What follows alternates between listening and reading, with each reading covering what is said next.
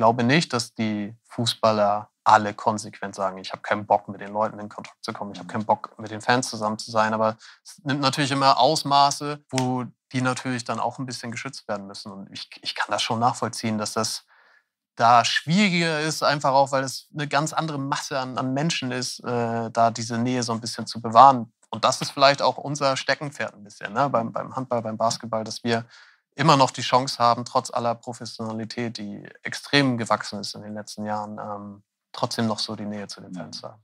Das war Rune Darmke, Handball-Nationalspieler des THW Kiel. Für diese Folge habe ich mich mit Rune Darmke zum Interview getroffen. Rune hat mit der Handballnationalmannschaft im Winter bei der Europameisterschaft im eigenen Land erlebt, wie man Euphorie auslösen und wie schnell die Stimmung auch wieder kippen kann.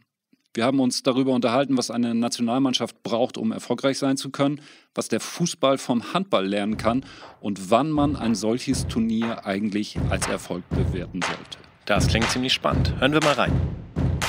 EM 2024. Die Suche nach dem Sommermärchen.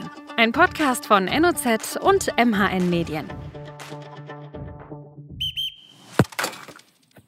Rune, ganz Deutschland hat auf ein Wintermärchen gehofft. Das ist äh, ausgeblieben, kann man sagen. Nun hoffen die Deutschen auf ein Sommermärchen 2.0. Meine Frage an dich: Fieberst du auch bei der Fußball-Europameisterschaft im eigenen Land mit? Und wenn ja, wie wirst du die Spiele verfolgen? Ja, auf jeden Fall. Also ich habe auch irgendwie das Gefühl, es gab ja so ein bisschen, ich sag mal, die Euphorie war ein bisschen abgeflacht nach dem nicht so erfolgreichen letzten Turnier. Aber jetzt nach den letzten Testspielen vor allem habe ich das Gefühl, dass irgendwie wieder was passiert und dass die Leute Bock haben und man merkt, die Mannschaft hat Bock. Und ja, ich habe es im Januar selbst erlebt, was so ein Turnier äh, im eigenen Land mit einem macht und mit den Leuten macht. Und wenn man sich das oder wenn man das auf den Fußball überträgt, dann ist es natürlich nochmal mal 1000. Von daher glaube ich, dass mhm. man da richtig Spaß haben wird. Und gucken, ja, mal, weiß ich noch nicht genau. Also Teil vielleicht in Kiel, das hängt so ein bisschen von der Vorbereitung für Olympische Spiele ab. Mhm. Ein bisschen von meiner Freundin, die ja auch dabei sein wird bei den Olympischen Spielen. Von daher mal gucken, Gucken wir mal ein bisschen zurück auf das, was du gerade eben schon angesprochen hast, den Januar, äh, wie es ist, vor 53.000 Zuschauern zu spielen. Weißt du seit dem EM-Eröffnungsspiel in Düsseldorf, Hand aufs Herz, beneiden Handballer, die Fußballer darum, regelmäßig vor so vielen Fans zu spielen? Ähm, ich weiß nicht, ob das so richtig Neid ist, aber ich glaube, es ist schon Wahnsinn zu sehen, was, was abgeht in so einem Stadion. Auch gerade in Deutschland mit den, mit den Choreografien und ich sag mal, dieser Inbrunst der Fans. Mhm. Das ist schon eine Leidenschaft, die siehst du beim Handball nicht so in der Häufigkeit wie beim Fußball. Ich glaube, wir sind auch sehr, sehr zufrieden, gerade in Deutschland mit, mit, der, ja, mit, dieser, mit diesem Zuschauermagnet Handball, der, der es ja nun mal ist, hat man auch bei der EM gesehen. Da die meisten Zuschauer, glaube ich, jemals in der Historie bei so einem Großturnier. Ähm, von daher sind wir, glaube ich, sehr, sehr zufrieden. Aber das ist schon auch nochmal ja, eine andere Leidenschaft beim Fußball, das muss man auch sagen. Du und auch der Rest des DHB-Teams, so hatte ich zumindest so den Eindruck, ihr wirktet schon so beseelt nach diesem Düsseldorf-Erlebnis, nach diesem Weltrekord und äh, habt ja auch so ein bisschen so eine Euphorie da entfacht. Wie habt ihr die Stimmung als Spieler da wahrgenommen? Ich kann mir vorstellen, man lebt ja während eines Turniers auch so in so einer kleinen Blase und kriegt gar nicht so viel von außen mit. Aber was habt ihr mitbekommen und äh, warum ist das auch so wichtig, während eines Turniers zu wissen, dass man so das eigene Land hinter sich hat? Ja, ich glaube, wir haben schon, also natürlich stimmt das, dass wir auch mit Absicht immer so ein bisschen abgeschottet werden, weil es, glaube ich, sonst auch ein bisschen zu viel wird während des Turniers. Da den Fokus zu verlieren, ist dann doch relativ leicht. Ähm, aber ja, das war schon Wahnsinn. Also in diesem Fußballstadion in Düsseldorf. Ich glaube, die, die schönsten Momente für mich war einmal nur das Reinkommen zum Warmmachen schon, äh, wo man wirklich dann auch in Schwarz-Rot-Gold da die, die Leute sieht und wo es dann wirklich nochmal das drei, vier, fünffache ist von dem, was mhm. man normalerweise kennt. Ihr spielt vor 10.000 genau, hier, hier beim 10, THW, ne? In Köln mhm. war es vor 20, also es sind auch schon Massen, mhm. aber das war natürlich nochmal was anderes. Nationalhymne mit äh, 50.000 Leuten im Krass, Chor ne? ist natürlich, ja, das ist was ganz Besonderes, das vergisst man noch nicht.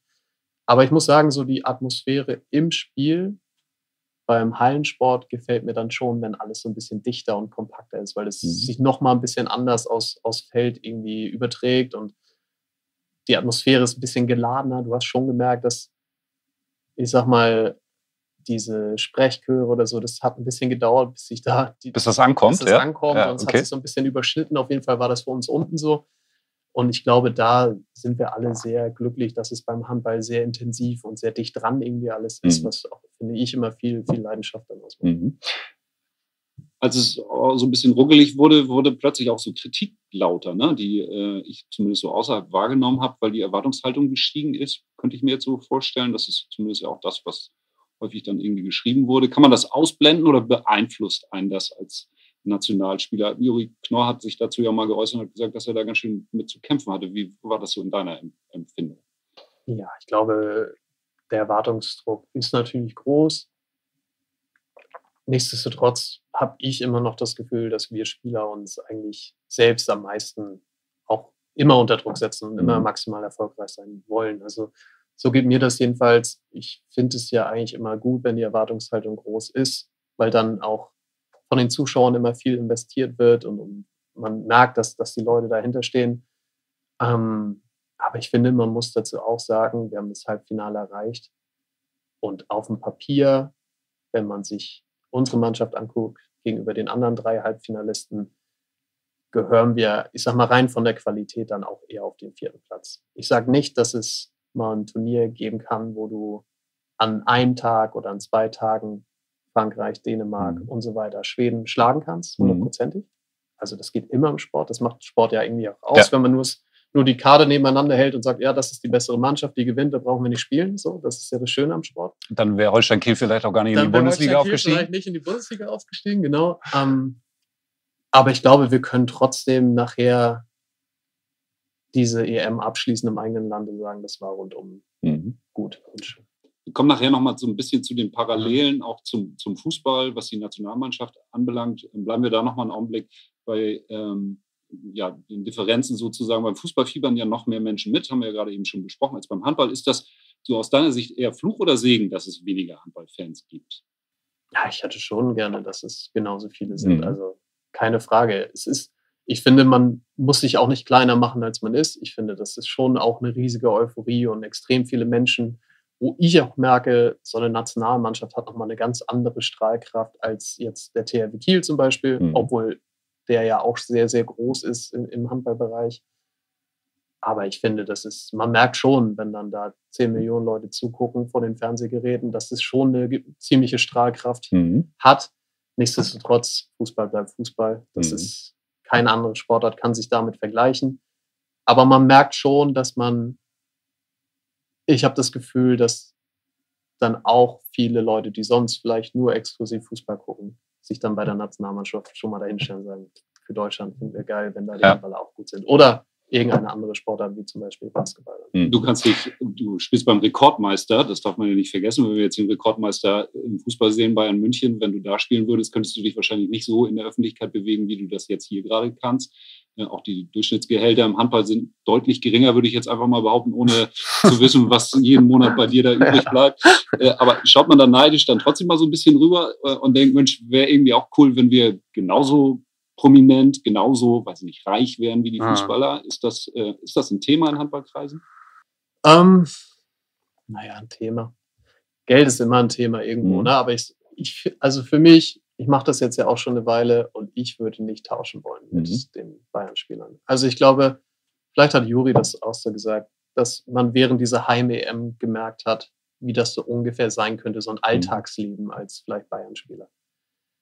Und äh, bei ihm ist das mit Sicherheit auch nochmal ein bisschen größer gewesen als mhm. für mich, aber ich möchte das nicht mhm. haben. Also ich finde, das ist schon auch eine Belastung, die man ganz schwer einschätzen kann. Mhm. Ich glaube, Handball in Kiel ist ziemlich groß und nichtsdestotrotz habe ich nur einen ganz kleinen Prozentteil davon, was so ein, ich weiß nicht, Thomas Müller oder mhm. Manuel Neuer äh, tagtäglich ausgesetzt sind. Das ist natürlich auch immer alles eigentlich ja was Positives über den Spieler, über den Sportler. Aber das jeden Tag so zu haben, dass man keinen Schritt unbeobachtet machen kann, keine Entscheidung treffen kann, ohne immer im Kopf zu haben, ich muss ein bisschen aufpassen, wo ich was mache, mit wem und äh, ja, wahrscheinlich was ich esse, was ich trinke und so weiter, was natürlich zum Sportlerleben an sich gehört, mhm. aber immer so, ja, alles davon abhängig zu machen und wahrscheinlich viele Sachen auch nicht zu machen, weil man weiß, das löst dann immer gleich äh, riesige Trauben von Menschen aus, äh, nee, das, mhm. das möchte ich nicht. Da verzichte ich lieber ein bisschen auf Sehr gut. Was ich mir im Zuge äh, dessen überlegt habe, auch in Vorbereitung auf unser Gespräch, habe ich mich ja ein bisschen schlau gemacht. Dafür sind deine Chancen vielleicht größer, nach der sportlichen Laufbahn äh, eine zweite Karriere starten zu können. Du bist ja Immobilienkaufmann, hast mit deinem Vater und deinem Bruder ein eigenes Unternehmen gegründet. Ich weiß nicht, ob Leroy Sané ob ich von dem eine Immobilie kaufen würde, ähm, ja, ohne dir Honig um den Bart schmieren zu wollen, aber du wirkst da schon ein bisschen seriöser. Und die Frage, die ich mir gestellt habe, kennst du den durchschnittlichen Quadratmeterpreis eines Einfamilienhauses in Kiel eigentlich? Ja, kommt drauf an, wo. Also es ist immer noch, auch wenn natürlich die, die, Bauzinsen extrem gestiegen sind, sind die Preise nicht so gefallen, wie, wie mhm. viele das erwartet haben. Ähm, aber da kannst du immer noch von 3000 bis sieben kriegst du alles, je mhm. nachdem, ob du in Düsterbrook guckst oder vielleicht außerhalb ein bisschen in, weiß ich nicht, Russee oder Mettenhof oder wie auch immer. Mhm. Ähm, also das ist ein ganz spannendes Thema, beschäftige ich mich auch so immer noch viel äh, neben dem Handball mit, weil es mich wirklich interessiert, weil ich so ein bisschen natürlich die Wurzeln drin habe und mhm. natürlich auch meine Zukunft ein bisschen darin sehe. Nichtsdestotrotz, ein Leroy Sané kann ja wahrscheinlich, wenn er seine eigene Bude verkauft, ja. deutlich schönere Immobilien verkaufen als ich. Ob ich sie mir leisten kann, ist die zweite genau, Frage. ich glaube, da können wir uns beide ganz ja. hinten anstellen. ähm, Nee, aber das ist auf jeden Fall was, wo ich auch merke, das ist für mich schön bei aller Wichtigkeit vom Handball und es ist mein Leben und es ist meine erste, zweite, dritte Priorität, solange das eben geht. Aber mhm. ich merke auch in den letzten Jahren, dass es für mich gut ist, nebenbei immer was für meinen Kopf zu machen, immer nebenbei nochmal ein bisschen, sag mal, die Sichtweite und den mhm. Sichtwinkel ein bisschen zu vergrößern, weil das vieles dann auch so ein bisschen, ja, in Perspektive setzt und mir manchmal auch hilft, so ein bisschen den sportlichen Erfolg oder Misserfolg äh, dann so ein bisschen wenigstens, ja, ich sag mal, runterzuschreiben. Mhm. Das ja eben schon so ein bisschen sanft anmoderiert. Man hat so ein bisschen das Gefühl, dass Handballer und auch die Basketballer nach dem WM-Titel den Deutschen so ein bisschen näher gekommen sind, irgendwie als die Fußballer. Hast du auch das Gefühl und woran mag das liegen, wenn du das Gefühl hast? Ja, also ich habe auch das Gefühl, dass wir extrem nah immer noch so zu, zu unseren Fans sind, mhm. dass es natürlich auch nicht so große Barrieren gibt. Ich glaube, dass die Spieler da gar nicht so viel für können, aber wir haben schon eben drüber gesprochen, das sind natürlich auch ganz andere ja, Zustände. Ne? Also man muss auch ganz ehrlich sagen, wenn ich jetzt hier in Kiel äh, über die Kiellinie laufe, dann guckt vielleicht mal einer und sagt vielleicht mal einer Moin, aber das war es dann auch. Mhm. Wenn das einer von den großen Fußballern macht, der das dauert fünf Minuten, dann kann der nicht mehr nicht mehr geradeaus gehen, weil mhm. so viele Menschen dann da sind. Und ich glaube, dem ist es auch viel geschuldet, dass natürlich die Distanz dann immer ein bisschen größer wird, weil ich glaube, das ist dann auch irgendwann nicht mehr tragbar. Ich glaube nicht, dass die Fußballer alle konsequent sagen, ich habe keinen Bock, mit den Leuten in Kontakt zu kommen, ich habe mhm. keinen Bock, mit den Fans zusammen zu sein. Aber es nimmt natürlich immer Ausmaße, wo die natürlich dann auch ein bisschen geschützt werden müssen. Und ich, ich kann das schon nachvollziehen, dass das da schwieriger ist, einfach auch, weil es eine ganz andere Masse an, an Menschen ist, äh, da diese Nähe so ein bisschen zu bewahren. Und das ist vielleicht auch unser Steckenpferd ein bisschen, ne? Mhm. beim, beim Handball, beim Basketball, dass wir immer noch die Chance haben, trotz aller Professionalität, die extrem gewachsen ist in den letzten Jahren, ähm, trotzdem noch so die Nähe zu den mhm. Was kann da aus deiner Sicht der Fußball gegebenenfalls von anderen Sportarten auch noch lernen? Gibt es irgendetwas, wo man vielleicht auch ja ein bisschen Nähe wiederherstellen kann, ohne jetzt, sage ich mal, in der Öffentlichkeit es zuzulassen, dass mich 100 Leute dabei be begleiten, wenn ich irgendwie essen gehe. Oder mhm. Also gibt es irgendwas, was dir da so einfällt? Also, Tja, ist gar nicht so leicht. Ne? Ich denke, dass da auch viele, viele kluge Köpfe drin arbeiten, um mhm. vielleicht so ein bisschen das Image bisschen nahbarer zu machen. Mhm.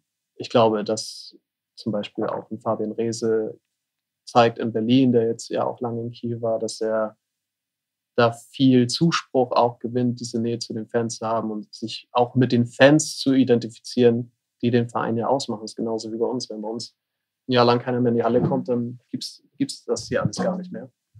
Und von daher glaube ich, oder ich habe das Gefühl, dass der Trend vielleicht wieder ein bisschen mehr in die Richtung geht. Wenn hier zum Beispiel, weiß nicht, Marco Reus jetzt zum Abschied dann nochmal, was weiß ich, 100.000 Euro für Freibier ausgibt für die Fans. Das ist irgendwie was Cooles. Mhm. Ne? Und ich glaube, da entsteht manchmal mehr Bindung auch langfristig und nachhaltig mit einer so einer Aktion oder mit zwei, drei Aktionen. Ich glaube ja nicht, dass du jede Woche dich auf so einen Platz stellen musst und mit den Leuten irgendwie zwanghaft ins Gespräch kommen musst. Ja. Aber ich glaube, so kleine Gesten zwischendurch sind immer möglich, um auch einfach zu zeigen, dass man das zu schätzen weiß, was die Leute ja nicht nur von ihrer Zeit investieren, sondern auch von ihrem eigenen Geld investieren.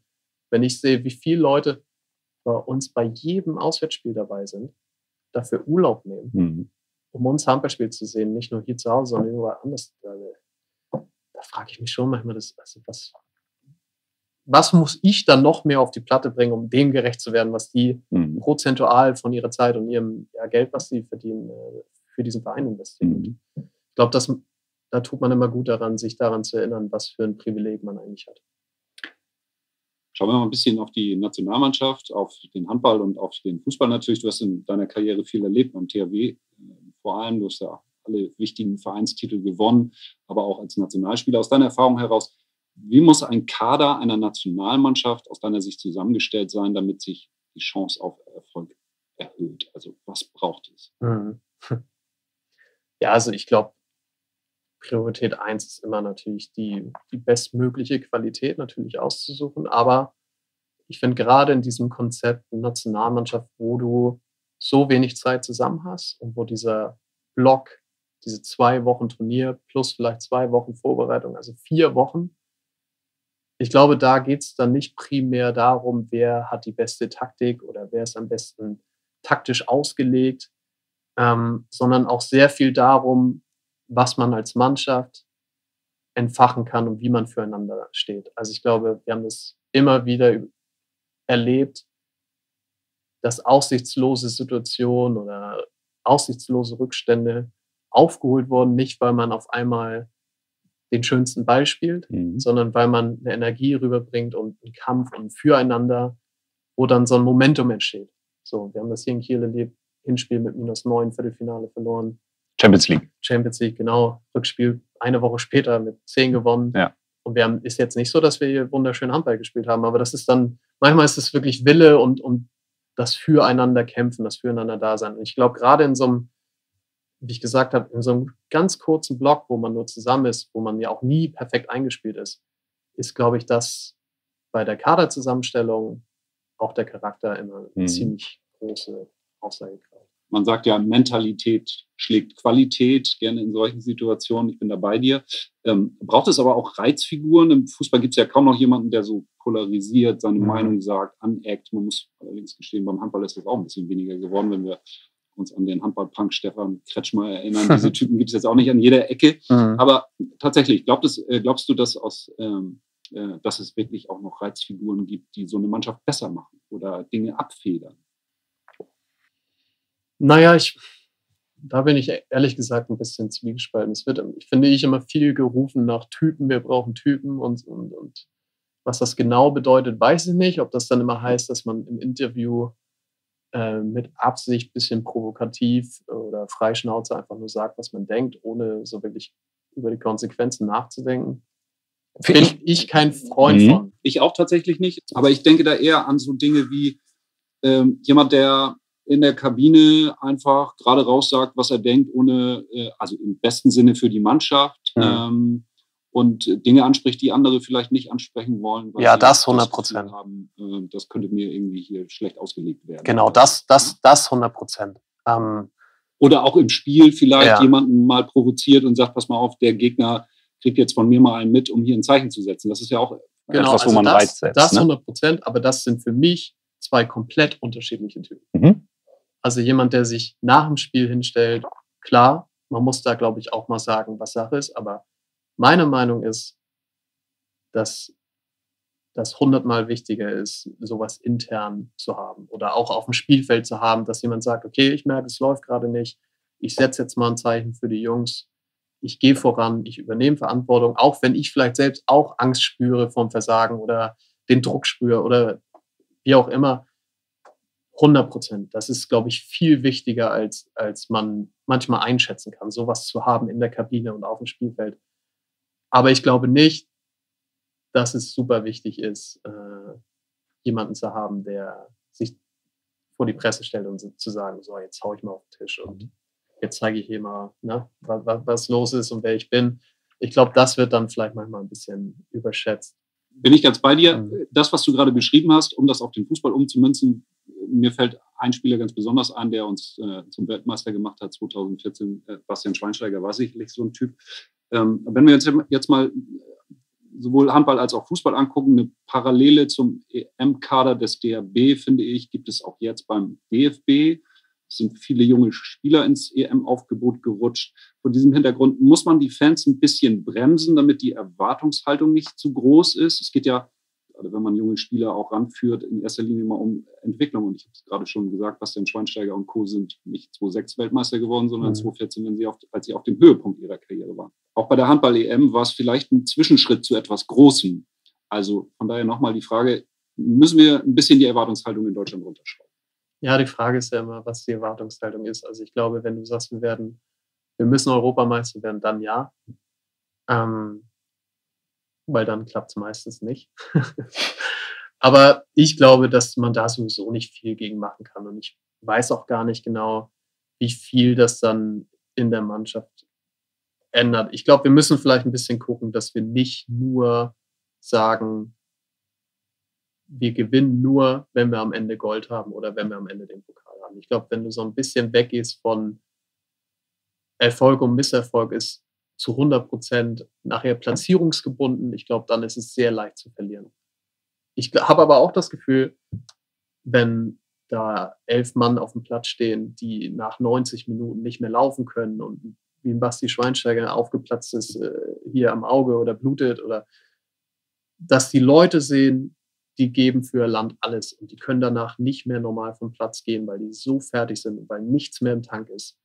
Ich glaube, dann sind viele hier in diesem Land und die meisten hier im Land, die sagen, ich bin stolz, dass das unsere Mannschaft ist. Und egal, ob die jetzt dann im Halbfinale oder vorher aufsteigen, aber die haben alles gegeben, was sie hatten. Hat vielleicht nicht alles funktioniert, aber das ist eine Mannschaft, mit der kann ich mich identifizieren. Und ich glaube, wenn die das so hochhalten können, dann sind, werden wir in Zukunft auch wieder erfolgreich sein.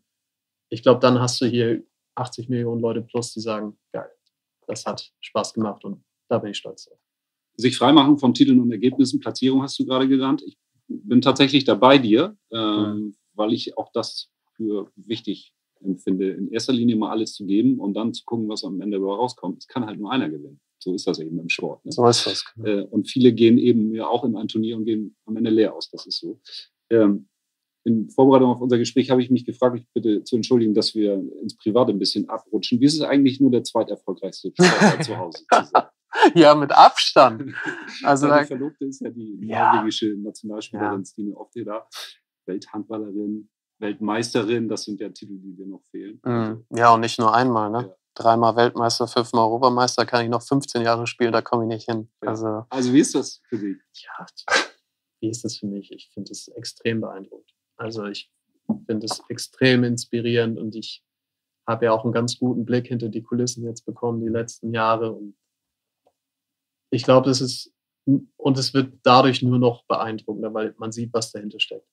Also was sie investiert und investiert hat in den letzten 15 Jahren nonstop äh, und sich dahin gedrillt hat, das ist schon Wahnsinn. Das verdient jede einzelne Goldmedaille und wahrscheinlich auch noch ein paar mehr. Aber es hat auch sehr, sehr viel gekostet. Das mhm. sieht man.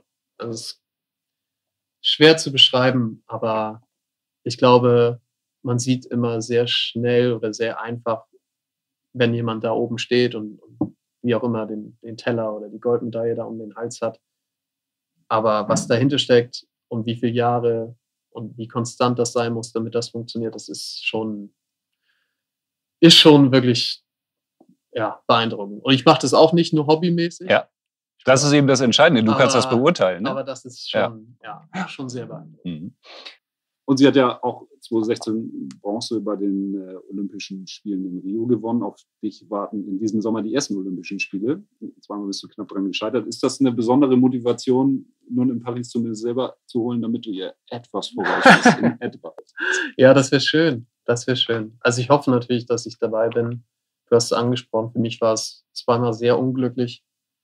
Ähm, das wäre toll. Mhm. Ich mag natürlich auch, dass es bei mir so ins letzte Drittel geht, sage ich mal, der Karriere. 31 jetzt? Genau. Ähm, ich fühle mich gut und ich habe Bock zu spielen und ich, ich möchte das auch gerne noch einige Jahre machen, aber man merkt natürlich, wenn die drei vorne ist, dass es irgendwann vorbeigehen muss. Mhm. Ähm, und bei den Olympischen Spielen erstmal dabei zu sein, wäre schon fantastisch. Und wenn am Ende eine Medaille bei rauskommt, sollte gut, dann nimmt man die auch gerne entgegen. Mhm. Das wäre, ja, das wäre toll. Wir drücken in jedem Fall die Daumen. Ein deutsches Wintermärchen ist es noch nicht geworden. Wir haben darüber gesprochen. Was braucht es, damit es aus deiner Sicht ein deutsches Sommermärchen wird? Ja, ich, glaube, der, der Modus ist natürlich äh, hart. Ähm, die Gruppen sind sehr hart, aber ich glaube, wir müssen ein bisschen da anknüpfen, wo wir aufgehört haben. Ich glaube nicht, dass so viel schlecht war. Wir wissen aber auch, dass wir noch sehr, sehr viel Potenzial nach oben haben. Ich glaube, wir müssen ein bisschen bisschen abgeklärter, bisschen cooler werden. Da hilft vielleicht das halbe Jahr dann auch mal in diesen Extremdrucksituationen, äh, gerade beim Heimturnier schon drin gewesen zu sein, knappe Spiele für sich teilweise entschieden zu haben, aber auch verloren zu haben. Ich glaube, das bringt uns weiter als Mannschaft. Wir haben noch mal ein bisschen mehr Zeit zusammen verbracht und dann muss man auch ganz ehrlich sagen, wenn es eine, für, für eine Medaille reichen sollte, dann muss man sich erstmal in die Position bringen und dann am Ende brauchst du auch ein bisschen Glück, dass du den richtigen Tag erwischst. Mhm. Das, das muss man auch ganz ehrlich sagen. Dafür sind die Top drei Mannschaften vor uns einfach noch mal ein bisschen stärker als wir. Mhm. Da brauchen wir schon richtig, richtig gut. Und was braucht es, damit es zwei deutsche Sommermärchen gibt? Oh ja. Ähm, ja, das Gleiche wahrscheinlich. Und ich glaube, dass das von der Qualität her vielleicht sogar unsere Fußballer noch mal ein Stück dichter dran sind an der Weltspitze, wenn alle ihr voll, äh, volles Potenzial ausschöpfen. Und was passieren kann, wenn man zu Hause spielt, ich glaube, haben wir gemerkt. Ich glaube, natürlich war unsere Erwartungshaltung, wenn du im Halbfinale bist, dann willst du mehr. Nichtsdestotrotz glaube ich, dass wir auch viele Erwartungen übertroffen haben. Durch diese Zuschauer im Rücken, durch dieses Heimturnier, durch diese Euphorie und ein Stück weit Momentum. Und wenn das zu den Fußballern auch kommt und das wird kommen, davon gehe ich aus, dann ist noch mehr für die drin. Mhm. Bleibt die Abschlussfrage, was traust du der DB 11 bei der Heimwehr zu? Was ich denen zutraue, alles. Eins. Sehr gut. Sagt Rune Damke, Handball-Nationalspieler des THW Kiel. Danke, Rune. Danke. Jo, das ist ein sehr interessantes Gespräch gewesen, Sascha. Was bleibt dir denn heute noch in Erinnerung aus diesem Gespräch? Interessant fand ich tatsächlich, wie groß die Unterschiede doch zwischen Handball und Fußball sind. Alleine was die öffentliche Aufmerksamkeit natürlich anbelangt und wie privilegiert sich die Handballer tatsächlich wie Rune Darmke fühlen. Und was würdest du sagen, was sind so die Kriterien, die du mitgenommen hast zu unserer großen Fragestellung, was braucht es für ein Sommermärchen 2.0? Eindrucksvoll hat er für meinen Geschmack geschildert, wie man als Team in so einer Europameisterschaft zusammenhalten sollte. Aussichtslose Situationen kann man am besten gemeinsam meistern, wenn man an einem Strang zieht. Und auch die Erwartungshaltung, das hat er ziemlich deutlich gemacht, sollten wir vielleicht etwas herunterschrauben. Es geht nicht um die bestmögliche Platzierung. Natürlich wollen wir eine Medaille, natürlich wollen wir einen Titel einstreichen, aber das ist nicht das ausschlaggebende Kriterium für Erfolg. Rune hat sehr deutlich gemacht, dass es darum geht, dass man sich mit einer Mannschaft identifiziert, die ihr letztes Hemd auf dem Platz lässt. Mit der Nähe sprichst du was Spannendes an, das haben wir ja auch in den letzten Folgen immer mal wieder gehört. Und ich persönlich finde, dass die Frauennationalmannschaft das richtig gut macht. Also ich fühle mich zum Beispiel viel verbundener mit der Frauennationalmannschaft als mit der Männernationalmannschaft vom DFB. Es braucht in erster Linie mal eine Mannschaft, die füreinander durchs Feuer geht und die auch die Fans anzündet. Das schafft man in erster Linie natürlich über leidenschaftlichen Einsatz, über Demut, Bescheidenheit und natürlich auch eine gewisse Nähe. Und deshalb habe ich mich auch mit Britta Karlsson getroffen. Sie ist die Co-Trainerin der Frauenfußballnationalmannschaft und hat sehr eindrucksvoll geschildert, wie die Frauen in unserem Land auch es geschafft haben, eine gewisse Nähe zu entwickeln. Sie hat als Spielerin den Aufschwung des Frauenfußballs in Deutschland hautnah miterlebt und inzwischen muss man einfach auch sagen, hat der Frauenfußball einen ganz anderen Stellenwert in unserer Gesellschaft eingenommen. Das zeigt sich auch darin, dass inzwischen es sogar Frauen gibt, die eine Männermannschaft trainieren. Über das habe ich mit Britta gesprochen und auch über ihre Erwartungshaltung vor der Fußball-Europameisterschaft. Finde ich sehr gut. Da bin ich auch sehr gespannt. Ich freue mich drauf und wir hören uns in der nächsten Folge wieder. Mach's gut, Sascha. Bis dahin. Hau rein, Tillmann. Gute Nacht. Gute Nacht.